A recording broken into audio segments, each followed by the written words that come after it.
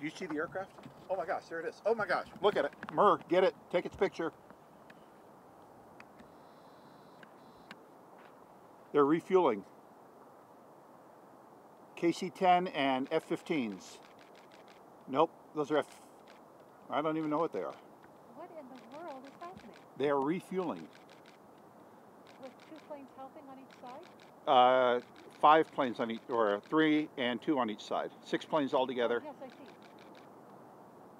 Maybe it's the president with an escort? No, it's just a team of fighter planes. Well, you are right. That's what would make the funny contrail.